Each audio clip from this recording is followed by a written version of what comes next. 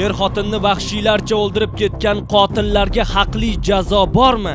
Odamni shunday ichaklari shunday urgan temir bolta bilan.